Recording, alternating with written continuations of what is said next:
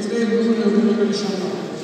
Il giorno 23 luglio 2019, alle ore 4.42, si verificava un'esplosione in un edificio plurifamiliare composto da tre appartamenti in borgo Frittano.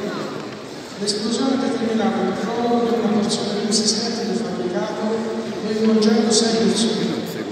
Nelle operazioni di soccorso effettuate nell'occasione, il signor prefetto di Livorno ha messaggio compiacimento che si chiama Fiume. Il regio comandante desidero farle pervenire il mio più sentito apprezzamento e compiacimento dell'encomiabile impegno profuso dal personale del comando provinciale dei Vigili del Fuoco e in particolare del distaccamento Vigili del Fuoco Porto Febbraio nell'attività connessa all'intervento effettuato il 23 luglio scorso per il crollo di un'abitazione a seguito di esplosione avvenuto nel regionale. L'elevatissima professionalità, l'alto senso di responsabilità e la dedizione mostrata nell'occasione che ho avuto modo di dimostrare personalmente il fermo sul posto